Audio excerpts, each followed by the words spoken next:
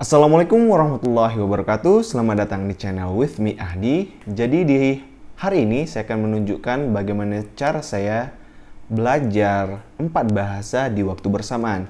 Jadi sejak tahun lalu saya memulai aktivitas belajar bahasa asing karena saya tidak tahu kenapa tiba-tiba saya ingin sekali menjadi seorang polyglot.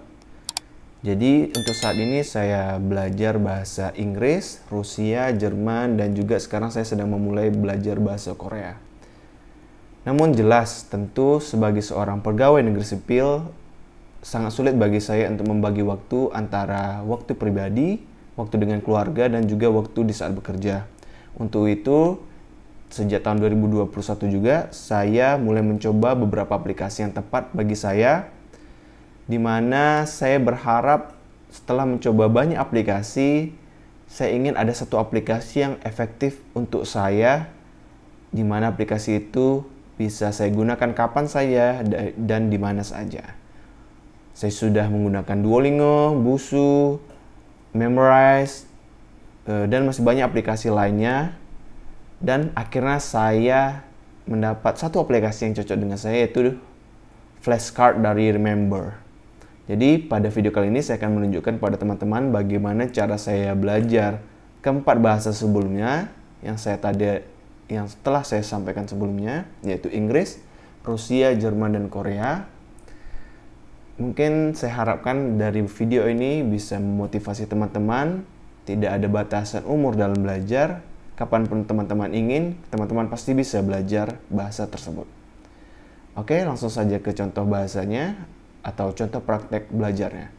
Jadi untuk saat ini saya akan mencoba menunjukkan dimulai dengan belajar bahasa Jerman.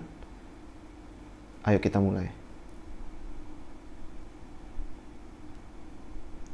Oh ya, sebelumnya saya ingin sampaikan bahwa sistem belajar flashcard itu seperti Kenapa saya menyukai sistem belajar flashcard? Karena pada sistem belajar flashcard ini terdapat istilah repetition atau pengulangan. Jadi, kunci dari belajar bahasa itu ialah ketekunan dan juga sering mengulang. Dengan sering mengulang, kita lebih siap dan lebih memahami suatu frasa dari bahasa asing dengan mudah. Karena kunci dari bahasa ialah komunikasi, bukan hanya sekedar belajar grammar. Oleh karena itu, saya lebih suka belajar flashcard, di mana di sistem belajar flashcard pada aplikasi yang telah saya download sebelumnya, saya juga sudah menyusun frasa-frasa apa yang biasa digunakan oleh orang-orang asing di luar sana. Jadi saya sudah mengumpulkan frasa-frasa atau kalimat yang biasa digunakan dalam bahasa sehari-hari tanpa saya perlu belajar grammar dari bahasa ter tersebut. Sehingga saya harapkan setelah saya menyelesaikan semua flashcard yang saya buat, saya meng bisa menggunakan bahasa-bahasa tersebut ke depan nantinya. Langsung saja ke contoh belajar bahasa Jerman.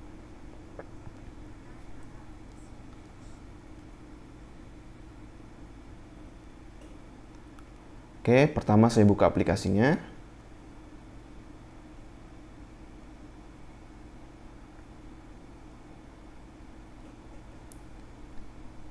Saya pilih bahasa Jerman. Dan di sini sudah saya sudah membuat daftar uh, frasa-frasa dan kalimat-kalimat dari bahasa Jerman ke bahasa Inggris. Jadi, setelah saya membuat frasa-frasa ini, barulah kita bisa melakukan belajar bahasa asing menggunakan sistem flashcard. Langsung saja ke contohnya. Nein, aber ein bisschen Milch. Nein, aber ein bisschen Milch. Itu berarti hmm, tidak, tapi hanya sedikit susu. No, but a little milk, yeah. I knew it. Das kann ich nicht sagen. Das kann ich, das kann ich nicht sagen. Das kann ich nicht sagen. Saya lupa, udah lama nggak belajar bahasa Jerman. Das kann ich, das kann ich nicht sagen. Oke, okay, saya nggak tahu. Artinya I cannot say that. Oke, okay, saya tidak tahu. Dan ketika saya memilih saya tidak tahu atau I didn't know, maka progresnya akan menurun. Nah, menurun kan? Eine Tasse Kaffee. Eine Tasse Kaffee. Uh, saya juga sudah lupa. Langsung aja saya buat I didn't know. A cup of tea. Ah, a cup of tea bahasa Jerman Eine Tasse Kaffee. Oke. Okay. Aber ohne Zucker. Aber ohne Zucker. Aber ohne Zucker.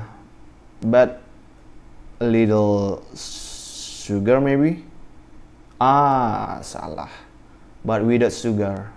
Oke, saya tidak tahu. Saya pilih sini. Dan progresnya menurun. Fährst nach Frankfurt? Fährst nach Frankfurt. Mau kau pergi ke kota Frankfurt? Are you going to Frankfurt? Yeah, I knew it. Okay. Okay. Oh no, we know you can do better. Yeah. I will do better. Na ja, manchmal. Naya manchmal. Naya manchmal. Hmm, artinya Naya manchmal. Well, sometimes. Das Büro von Herr Arnold. Das Büro von Herr Arnold. Das Büro von Herr Arnold. Oke, menarik dari belajar flashcard ini, selain saya juga belajar bagaimana cara reading bahasa asing, saya juga belajar bagaimana cara speaking dan juga hearing atau listening. Jadi saya secara tidak langsung belajar tiga sistem atau tiga skill dari bahasa yaitu reading, hearing atau listening dan juga speaking. Das Büro von Herr Arnold. Ini artinya itu adalah uh, kantornya Pak Arnold atau kita pilih Mr. Arnold's office. Fährst nach Frankfurt? Fährst nach Frankfurt? Ya. Yeah. Fährst nach Frankfurt. Fährst itu, itu asal kata fahren atau pergi. Nach itu after atau menuju. Frankfurt itu nama kota. Jadi mau kau pergi ke kota Frankfurt? Yeah. Are you going to Frankfurt? Bahasa Inggrisnya. Mit Herrn Arnold. Mit Herrn Arnold. With Mr. Arnold. Magst du deine Arbeit? Magst du deine Arbeit? Apakah kamu suka bekerja? Magst du deine Arbeit? Jadi bahasa Inggrisnya atau arti dari magst du deine Arbeit adalah do you like your work? Next, are you going to Frankfurt? Are you going to Frankfurt? Jadi bahasa Jermannya adalah fährst nach Frankfurt. Fährst nach Frankfurt? Fährst nach Frankfurt. Oke, di sini progresnya bertambah ya. Do you like your work? Magst du deine Arbeit? Magst du deine Arbeit? Ja, magst du deine Arbeit? I cannot say I cannot say that. Ich kann nicht das sagen. Das kann ich nicht sagen. Ah, das kann ich nicht sagen. Yes, uh, terkadang bahasa Jerman yang yang paling sulit dari saya dalam bela belajar bahasa Jerman ialah susunan katanya. Bahkan di saat kita belajar bahasa Inggris, kita tahu banyak uh, bisa dibilang bahasa terbalik-balik dari bahasa kita. Di bahasa Jerman, sistem atau struktur bahasa jauh lebih sulit dari bahasa Inggris. Seperti yang saya contohkan sebelumnya. I cannot say that. Das kann, das kann ich nicht sagen. Okay, got Das kann ich nicht sagen. Mr. Arnold's office. Uh, das Büro von Herr Arnold. So jadi kita tahu office atau kantor dalam bahasa Jerman itu memiliki gender netral karena ada artikel das. Das Büro von Herr Arnold. Das Büro von Herr Arnold. Mit eh mit Herrn Arnold. Mit Herrn Arnold. Oke, jadi di sini saya udah selesai belajar bahasa Jerman. Saya tekankan lagi, kunci dari belajar bahasa asing ialah repeti repetition atau pengulangan. Jadi coba saya ulangi lagi belajar bahasa Jermannya. Practice again. Eine Tasse Kaffee. Eine Tasse Kaffee, a cup of tea. Oke. Jelaskan jadi dengan pengulangan saya bisa mengingat kembali apa yang sebelumnya saya lupakan. Das kann ich nicht sagen. Das kann ich nicht sagen. I can't tell you that. Ich esse keinen Kuchen. Ich esse keinen Kuchen. Ich esse keinen Kuchen. Uh, saya lupa. Saya akan pilih sembarang, tapi mungkin artinya I don't eat I don't eat cake. Yeah, I don't eat cake. Aber ohne Zucker. Aber ohne Zucker. Aber ohne Zucker. Without but without sugar. Okay. Nein, aber ein bisschen Milch. Nein, aber ein bisschen Milch. Nein, nein, aber ein bisschen Milch. Oke. Okay.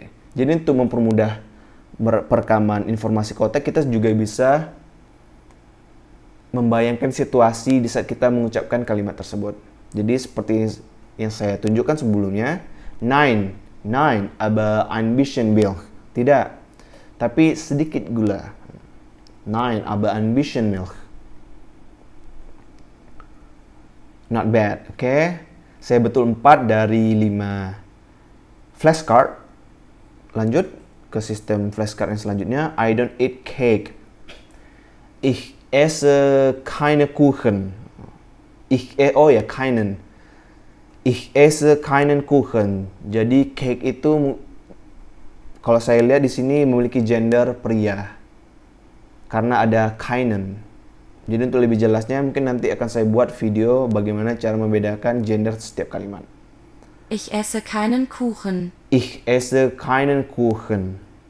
Jadi menarik dari bahasa Jerman apabila C ketemu dengan H itu sama dengan kita mengucapkan K ketemu H. Jadi ho, H. Cara pengucapannya. But without sugar. Aber ohne Milch. Aber ohne Milch Uh, oh, aber ohne Zucker. Zucker. Aber ohne Zucker. Aber ohne Zucker. Aber ohne Zucker. Okay. A cup of tea. Eine Tasse Kaffee. Eine Tasse Kaffee. Eine Tasse Kaffee. Okay. No, but a little milk. Nein. Aber ein bisschen Milch. Nein, aber ein bisschen Milch. Austria. Hmm, bahasa Jermannya saya lupa. Das Österreich. Das Österreich. Jadi menariknya kata Austria di bahasa Jerman ini memiliki gender netral ya. Bisa kita lihat bahasa Jerman Austria ialah das Österreich. Das artikel untuk netral. Das ist interessant. Das ist interessant. That is interesting. Okay. I knew it. Das ist interessant. Ich esse keinen Kuchen. Ich, ich esse keinen Kuchen. Keinen Kuchen. Saya tidak makan kue. Okay. Aber ohne Zucker. Aber ohne Zucker. Tapi tanpa gula. Aber ohne Zucker, but without sugar. Okay. Das kann ich nicht sagen. Das kann ich nicht sagen. Das kann ich nicht sagen. Das kann ich nicht sagen. I can't tell that. I can't say that. Eine Tasse Kaffee. Eine Tasse Kaffee. A cup of tea. Oh, a cup of coffee. Okay, sorry. Oke, kita tadi udah saya tunjukkan bagaimana cara saya belajar bahasa Jerman. Selanjutnya saya akan menunjukkan bagaimana saya belajar bahasa Rusia. Sama seperti bahasa Jerman, jadi saya sebelumnya sudah membuat banyak kumpulan flashcard dari bahasa sehari-hari sehari-hari orang Rusia gunakan. Jadi tanpa belajar grammar, tanpa belajar banyak grammar, saya langsung mempraktekkan bagaimana orang Rusia bercakap atau berbicara sehari-hari. Langsung saja saya tunjukkan. Saya pilih flashcard bahasa Rusia, langsung praktis. Ты можешь прочитать это? Ты можешь прочитать это? Ты можешь прочитать это? Hmm, ты можешь прочитать это? You can прочитать. You can you can write it or read it. I cannot remember. You can read it. Okay, I knew it. Maybe a little. Maybe maybe yes, maybe not. Okay. У вас в гостинице есть доктор?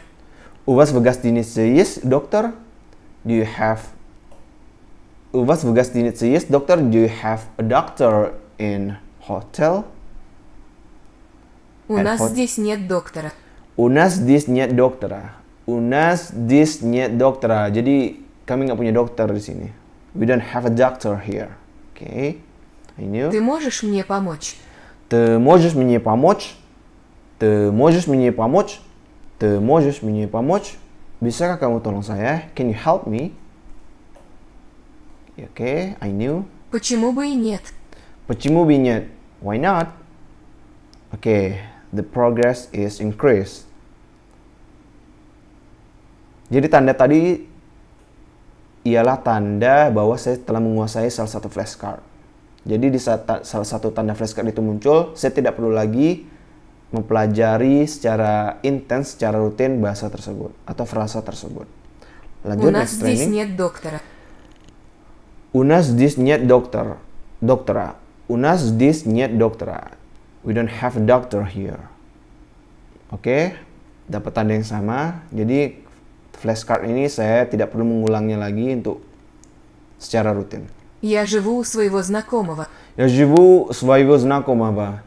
Я живу у своего знакомого. I live with my at my friend's place. Yeah. At my male friend's place. Okay. Это была хорошая работа. Это была хорошая работа. Это была хорошая работа. It was a good work. A good job. It was a good job. Okay. Ты можешь прочитать это? Ты можешь прочитать это? Ты можешь прочитать это? Can you read it? Ты можешь мне помочь? Ты можешь мне помочь? Ты можешь мне помочь? Ты, не, ты можешь мне помочь? Can you help me? Can you read it? Can you read this? Ты можешь прочитать это? Ты можешь прочитать это? Ты можешь прочитать это? I live at my male friend's place. Я живу у своего знакомого. Я живу у своего знакомого. О, я живу у своего знакомого.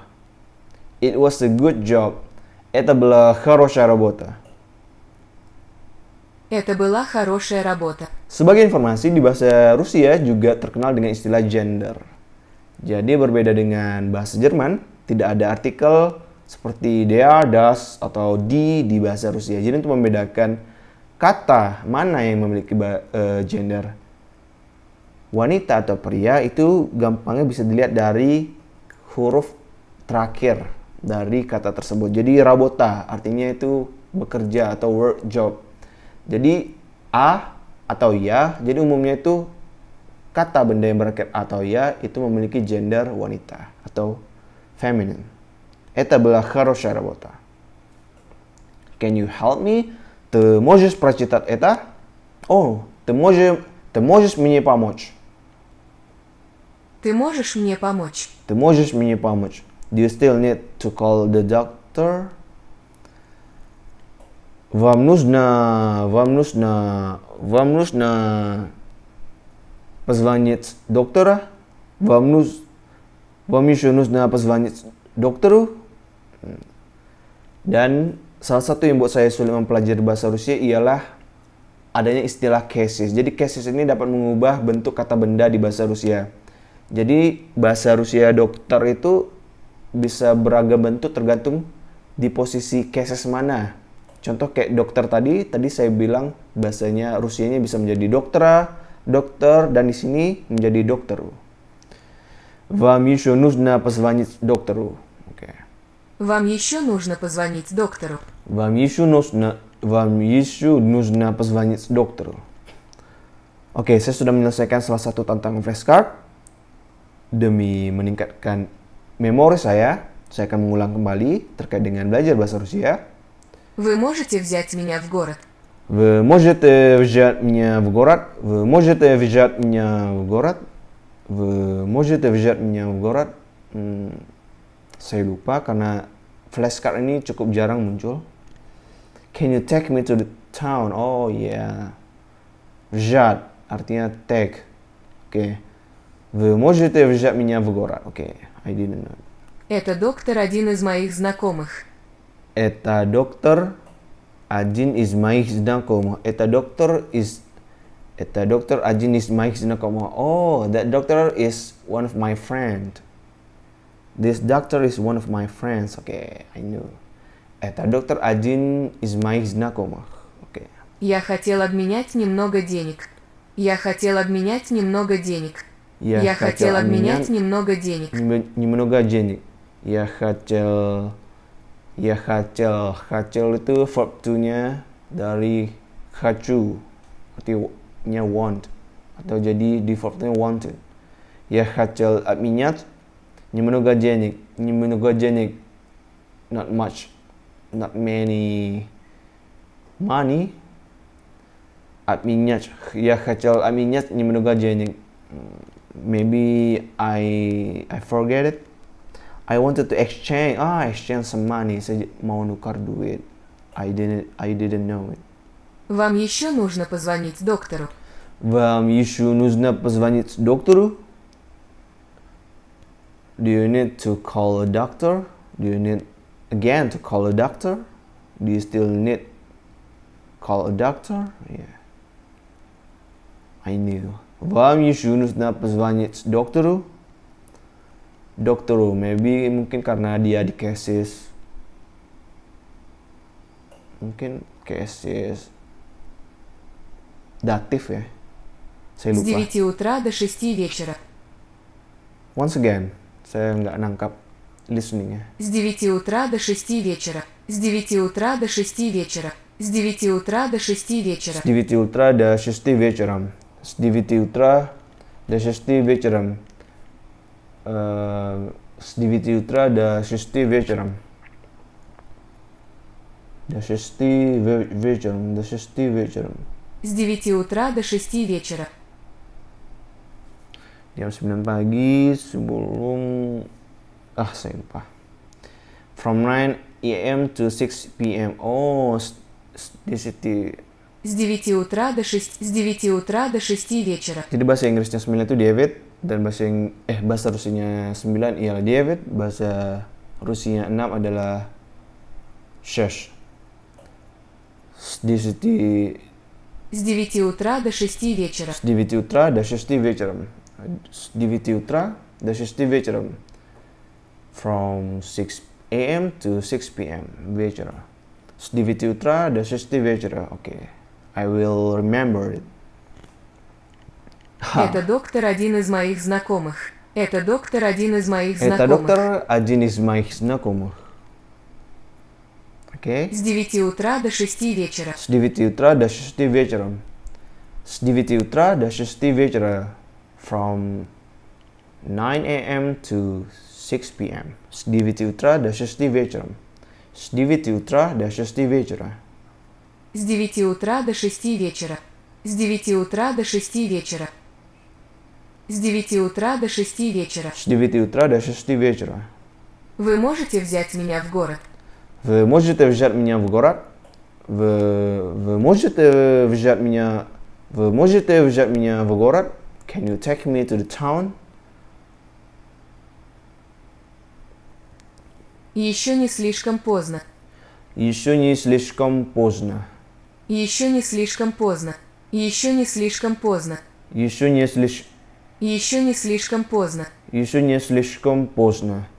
Еще не слишком поздно. Еще не слиш- слишком поздно. Слишком, слишком поздно. Еще не слишком поздно.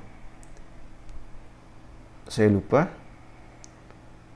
Ah, it's not yet too late. Еще не слишком поздно. Поздно. Late. Слишком too. Я хотел обменять немного денег. Я хотел обменять немного, немного денег. Я хотел обменять немного денег. I want exchange exchange some money. I wanted to exchange some money. Я хот я хотел я хотел Я хотел обменять немного денег. я хотел обменять немного, немного денег. Okay? It's not yet late. It's not yet too late. Ah, sumpah. Слишком поздно, слишком поздно. Еще не, еще не слиш, еще не слишком поздно. Еще не слишком поздно. Еще не слишком поздно. Okay? I still have to work for a few minutes. Я еще... Я еще... Я должен... Я еще должен... Arbeit. Я еще должен Я работать еще должен работать несколько минут. несколько минут. For a few weeks. Несколько минут. Я еще должен arbeit несколько минут. Я еще должен работать несколько минут. Okay, I'll remember. I wanted, I wanted to exchange some money. Я хотел обменять немного денег. Я хотел обменять немного денег. Я хотел обменять немного денег. Я хотел обменять немного, немного денег. From 9 a.m. to 6 p.m. С 9 утра с 9 утра до 6 вечера. С 9 утра до 6 вечера. Okay? Can you take me to town? Ты можешь, ты можешь обменять меня, ты можешь взять меня в город? Вы можете взять меня в город? Oh, di sini pakai v. V dan te itu sama-sama kamu, tapi v itu lebih formal daripada- daripada te. Te itu biasanya untuk teman. Jadi bisa juga kita menggunakan вы можете взять меня в город, в город atau ты можешь взять меня в город. Oke, tadi saya sudah tunjukkan bagaimana cara saya belajar bahasa Jerman dan juga belajar bahasa Rusia di hari yang sama karena saya tahu waktu saya sangat terbatas jadi saya benar-benar memaksimalkan jika saya punya waktu luang. Lanjut ke contoh terakhir yaitu belajar bagaimana cara saya belajar bahasa Korea. Check it out. Jadi sebelumnya di bahasa Korea saya nggak banyak memasukkan sampel atau contoh-contoh frasa umum di Korea. Jadi di bahasa Korea saya lebih banyak mengisi eh, angka-angka uh, dalam bahasa Korea. Saya ingin mengetahui bagaimana penyebutan angka-angka di bahasa Korea. Berikut contohnya. Yesun. Yesun. Yesun. Yesun. 60 maybe? Yeah, 60 native Korean. Jadi di bahasa Korea itu angkanya terdapat dua bahasa, ada native Korean sama Chinese. Ya, yeah, Chinese. Jadi di bahasa Korea itu terdapat dua sistem penomoran, penyebutan penomoran, native Korean dan satu lagi terkait dengan Chinese. Oke, okay, I knew. 신, 신, Twin, twin, twin. 50? Yeah, I knew. 서른, Soren, 서른, Soren, Soren. 30? Yeah. 마흔, Bahan, 40. 일흔, Ilhan, 70. 마흔, Bahan, 40. 신, Tin, 50. 일흔, Ilhan, 70. 예순, Yesen, 60. 서른, Soren, 30. Yeah, you're doing well. I correct 5 from 5. 50. Native Korean. Twin. 신, Twin. 40. Mm, 40. Bahan. Bahan. 마흔, Bahan. 60. Yesun. 예순, Yesun, okay? I got it. 30. Soren. 서른, Soren. Sebagai informasi juga di bahasa Korea mereka menggunakan sistem penulisan Hangul. Jadi berbeda dengan kita yang menggunakan abjad bahasa Latin, di bahasa Korea mereka menggunakan huruf Hangul. Jadi ketika teman-teman har mau belajar bahasa Korea, cara mudahnya untuk memahami bahasa mereka ialah melalui sistem skrip mereka atau sistem penulisan mereka. Sama juga ketika saya belajar bahasa Rusia, Rusia sebelum saya belajar Rusia, terlebih dahulu saya belajar bagaimana membaca kata-katanya. Jadi saya harus belajar huruf Cyrillic karena di Rusia hurufnya mereka memakai huruf Cyrillic. 70. Ilhan. Ihan. Oh, salah. Saya tahu bahasa tapi saya salah memilih tulisannya. Oh, not bad. Correct four and wrong one. Wrong one. Okay. Uh, once again. Ahen. Ahen. Nine, 90? Yeah, ninety. E. Il. Two. But uh, this is Chinese Chinese number in Korean. Yeah. I, il, one. Okay, I knew it. 여든, Jordan. Jordan, four in Chinese ya. Oh salah. Jordan, AD Korean. 3、3、Sam, Sam. tiga. I. I. dua. Two. Okay. Jordan. Jordan 80 Sam. Sam 3 E. E 2 Ahun Ahun Ahun 90 Il Il 1 5 I, for, I forget it. Mm, maybe O. O. Okay O. Satu il il il, tiga sam, sam, sam, empat sa, sa, sa. Jadi il, i, sam, sa, 70, 70 ilhen. Ilhen, saya harus memilih. Ah, ilhen. Ilhen. Oke. Okay. Jadi sekian contoh bagaimana saya belajar bahasa bahasa asing di waktu-waktu luang saya cukup mudah kan? Jadi kelebihan dari belajar flashcard kita bisa melakukan repetition atau pengulangan apa yang telah kita pelajari sebelumnya. Dan juga saya nggak perlu membuang-buang banyak waktu untuk mempelajari grammar karena saya rasa di level saya ini di level beginner yang penting bagi saya ialah saya bisa memahami frasa-frasa atau kalimat-kalimat yang biasa digunakan oleh orang-orang asing dalam percakapan mereka sehari-hari. Mungkin itu saja yang bisa saya sampaikan pada hari ini. Jika video ini bermanfaat, mohon like, share, subscribe. Terima kasih dan sampai jumpa.